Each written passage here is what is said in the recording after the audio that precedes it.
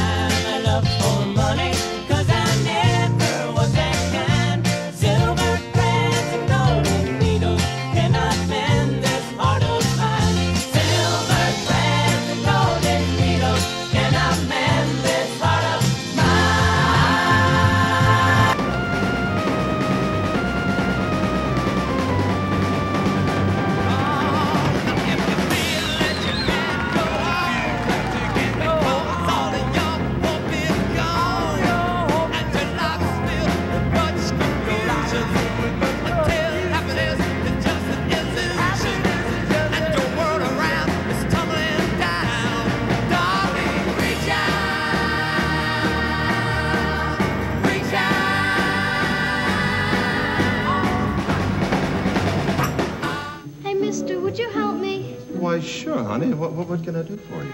I can't find my family. I'm lost. Oh, that's too bad. We better do something about that. What's your name? Susan Cowsill. What's your family like so I can, uh, you know, maybe start looking for them?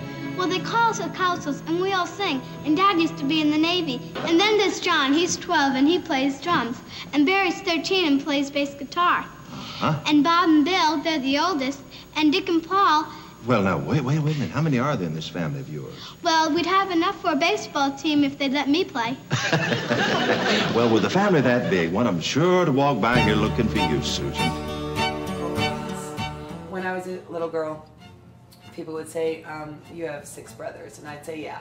And they'd say, What are their names? And I'd say, Bill, Bob, Barry, John, Paul, Dick. Bill Cowsill. Bill. Billy. My brother, Bill. Billy and me, we, we kind of like got along the best. During my childhood and stuff, we always got along the best. Bill was a really good older brother to all of us. Bill was my mentor. He was the leader of the pack, um, but he didn't lead. He simply set example. Oh, I guess I felt fairly parental towards them. Yeah, they were my babies. Yeah. Bill and I were never, none of us were on the same footing. They were music. I was not. You know, I mean, I have a lot of, of, of good memories of Bill because he was a good guy. You know, growing up, basically he raised me. Bill was always an amazing, gifted singer, even as a seven, eight, nine, ten year old. Uh, all the way he could sing. He could out-sing any one of us. Bill was somebody I could come to. Susan was always my little sweetheart. In case she had any questions, she could come to me and ask them. I could come to him and go, oh, you know, I feel really awkward, you know, my hair is yucky, and my, and he would just go, oh no, you're just, you're gorgeous. And I was always there for her. I was very tight. Bill and I had a relationship that was always musical. We didn't hang out. And Bill had his own friends, and I had my own. But both of us would leave those and connect always, on a daily basis probably, over music. Bill was an individual. Bill was, uh, was strong and anti-establishment. Billy was a bona fide wild man. But what that guy could do was sing.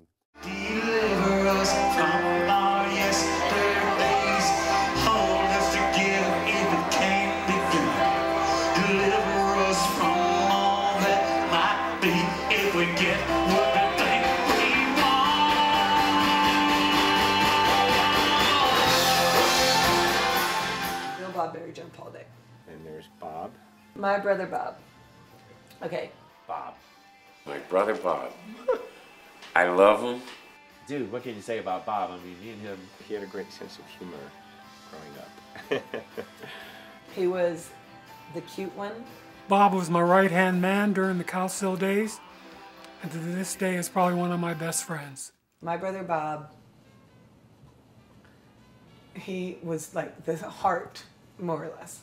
He was really smart, did very well in school. He was quiet, he was beautiful. I felt like he like soaked up all of our good energy. My kids would always go, "Oh, who's your favorite brother?" You know, I mean, I'd always go, "Oh, Bob. Bob was my favorite." Anytime I'm with you, that's my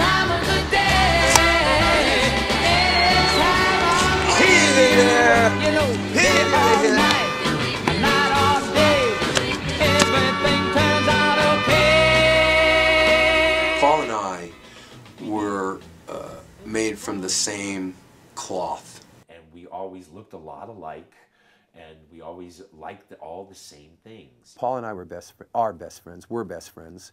As children, we were best friends. We always had our own bed, but we never slept in two beds. We always were in one bed and just doing all that stuff you ever did, you know. Paul was right under me age-wise, and uh, our interests were just so compatible that it was inevitable that we would bond like that as brothers. And that bond, nobody, nobody can break that bond.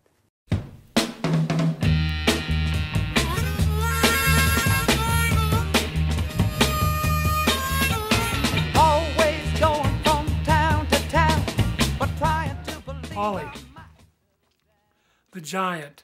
Paul's like Goliath, and uh, he's like a mountain man, and he's just this big hunk of love. I had no relationship with any of these people.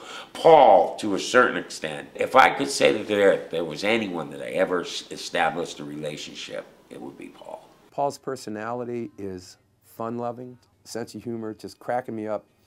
I laugh all the time when I'm with Paul. he is just the funniest guy.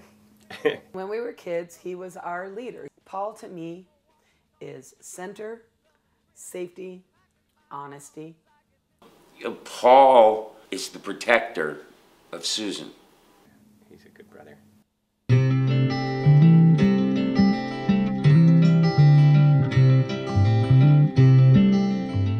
He always takes care of me. And he is just he's just that guy.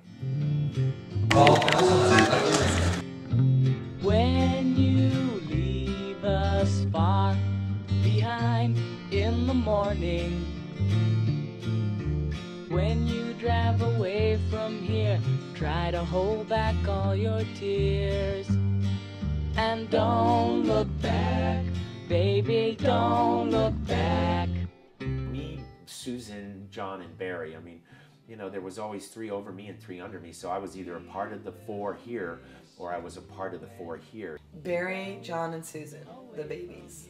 That's what we were called. They were called the babies. You know, Barry and John and Susan were the babies. Uh, Paul, I would say, probably had more responsibility for the babies than, than I did. So I really got to know everybody because I was the middle guy. And the little guys, you know, it was like all of a sudden I'm in charge and just always had to keep these guys in my view, in my line of sight. Barry, I would have to say, if I had a favorite brother, and sorry guys, it's him. Barry, you know, Barry. Barry. Oh my God, Barry. And then Barry, Barry was always really unique. He was my, he was my sweetheart growing up. He's the guy that I had all the imagination with. Billy and me lived, we, we had the best times out of any of these people in the family. And I want to keep them that way. Barry and I, we were roommates, you know, but we were two completely different people. You know, it's funny because he was always a really happy kid. Barry, I totally related to in a sensory zone that I can't even explain today. He was always creative, always writing songs over on his bed, and you know, I was playing with Playboys under the mattress, you know, so it's like, ah. Barry was born a bass player, and it was an amazing thing to see. Barry was the bass player, and I really didn't have to tell him what to do. He knew instinctively what to do. Billy and me kind of like traded ideas, and he kind of liked my musicianship. He is an incredibly inventive, imaginative creature. Even as a child, Barry was a complex personality, always searching. He was a questioner. He's had a nomadic life to say the least, but he's got a drinking problem too. I'll talk to him. But, but he doesn't like my drinking. He's Mr. 12 Step. And it's like, Wait a minute, you're dying from too much bad heroin. Now, don't give me a problem about beer drinking. And we've all got problems, don't we? About what we take in and what we don't. So unless he gets that together, he's never gonna really amount to too much. You really have to kill your demons before you can revive your uh, your dead soul, man. And I'm, I'm on a pretty good balance right now. Really, I swear. You know, no problem. He had no problem confronting uh, any situation that he thought was unfair, unjust, or, uh, or not right. Uh, but a loving little boy and a loving teenager and a loving adult, his heart is pure. And he was very, very brutally at times honest. But I found out my statue was empty, Lord. Barry, he's just an amazing, talented human being who wants to be a Rolling Stone. And he is. You know how to do it. Stick! Did somebody say stick? Beg your pardon if we're late. We love our brothers now. What else is there to do? John. John. John. Johnny, Brother John, my little baby. He's my little sweetheart, my little baby. And I love him dearly. He was too young. I don't know. John, he was just the funniest kid. You could tell when he was about to cry because his lip would get real, real pointy. John Cowsill. I think we could have been twins. John was really pretty much easygoing. I mean, me and him are a lot alike, and we still are a lot alike. He wants to like be accepted by everybody, you know. He comes from the same place I come from, which is love, love, love, love, love. Just love me. Follow down the path of love.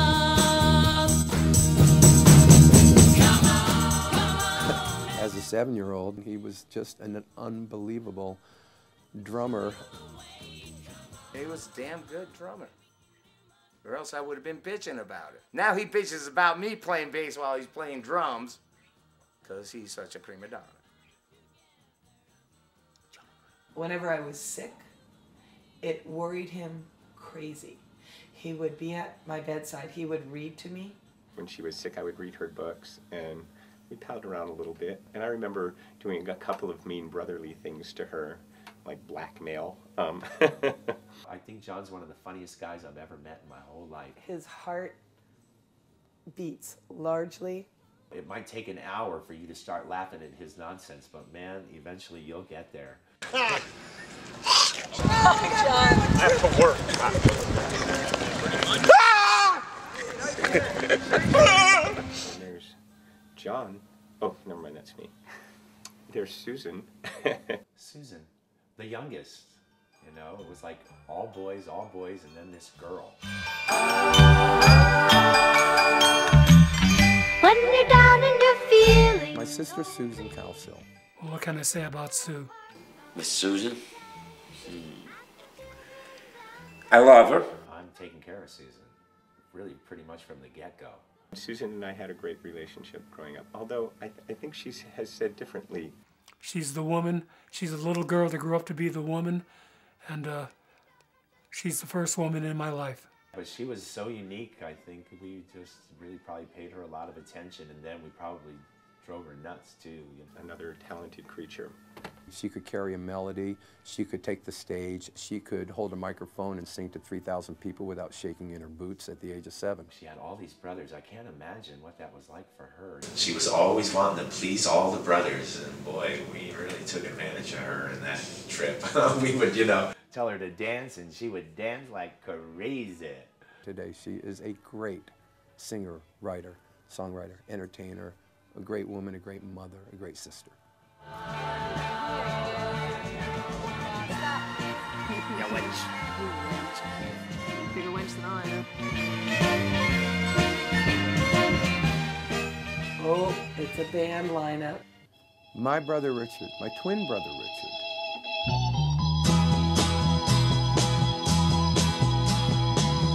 Poor baby, something always bringing you down. So, Richard, My father was formulating in his mind just how to get this band famous and didn't figure Richard uh, fit the bill. Richard and I, as twins, parted, separated shortly after birth. He was the surfing brother. Now Richard and I have a, a good twin relationship. Uh, I love the guy. Richard and I uh, really never got to know each other that well because he was always on the periphery. I would call Bill and say, "Hey, Bill, how you doing?" And I, But I love him dearly. and then I finally said, "Is there anything that you want to talk about?" He said, "No." I tried that three times. He was hilarious. He was one of Barry's best friends. He and B connected, which makes me wonder why I didn't. I love Richard. My dad told me that Dick was going to be my dance teacher. I remember, what? And truth be told, all my little moves, he, he taught them all to me. He did. And Dickie was all, he, he has rhythm and soul.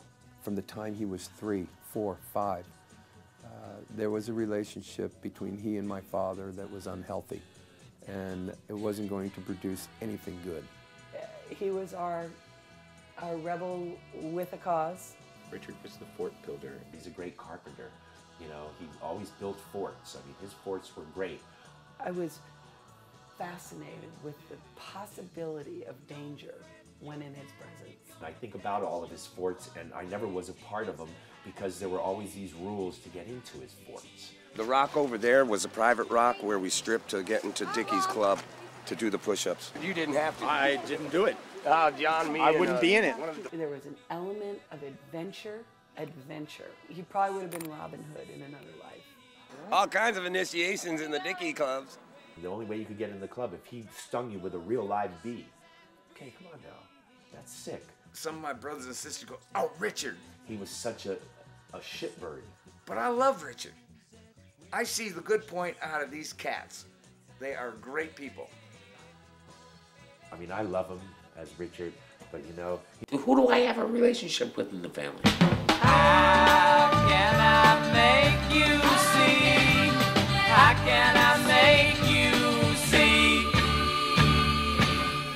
He clashed with Dad from the very beginning. That means Richard was out. Uh, I can't even. It, it, it upsets me because it was so unfair. I think every single one of us has got their own reaction and response to the life we all had. And their one string that kept them sane. was According to Richard, music. the string that kept me sane was the All music. of them. All of them. Oh, them. I'm sorry. According to Richard, what kept all of us sane was our music. No, I didn't say that. I said kept Yeah, you you did, together. and it's on well, this it, we'll repeat it back. I said it kept you together. You had a common bond wherein I did not have that common bond. I don't agree that because you didn't have music, you are more damaged or more whatever than other Three people. years of Vietnam. Well, that might have something to do with it. Dickie's Meds, Wait. take one. Uh, no, hold- you know, this is terrible. Days of the week. I have to take something. Uh, I take 3,200 milligrams of Neurontin. Um, I take napalm. two milligrams of Ativan, um, quetiapine. All it does is just calm, to whatever extent you're witnessing, me down. Yeah, I mean, he's he's just a fucking mess. We're all a fucking mess, and we judge the shit out of each other, and I think that's hysterical too. I find, you know, it's just too funny to me. We're gonna judge Bill, and I'm gonna judge Dick, and Paul's gonna judge Barry, and John's gonna judge. You know, it's like seriously.